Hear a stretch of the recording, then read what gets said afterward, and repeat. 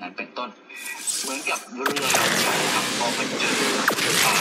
น้ำแข็งนะที่มันโอ้โหใหญ่มากๆเลยนะครับเนี่ยมันซ้ายและขวาดีมันใช้เวลารถบรรทุกเจอโค้งทีเดียวที่มันเร็วมากๆอาจจะใช้เวลาในการเลี้ยวนอกจากนั้นครับอุตสาหกรรมยานยนต์ยังรู้สึกถูกระลับคนในเรื่อยขั้นการจะเปลี่ยนด้วยนะครับมันเหมือนเปลี่ยนกระดูกหลังเลยอะมันเลยต้องคิดให้ดีๆนะครับ เพราะว่าเคลื่อนเร็วเกินไป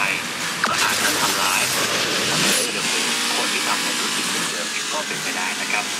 ต้องอย่าลืมด้วยนะครับอีกเหตุผลหนึ่งก็คือ EV ไม่ใช่ทางเลือกเดียวของรถยนต์แต่มันมีอื่นๆอีกด้วยนะไอ้คำว่าพลังงานสะอาด Green Energy ไม่ได้เป็นแค่คำการที่พูดนะครับของรายการคือเรื่องนี้อะไรก็คือพวกเราจะเรียกว่าไทยของงานที่มีมาก ซึ่งการเดินเกมของญี่ปุ่น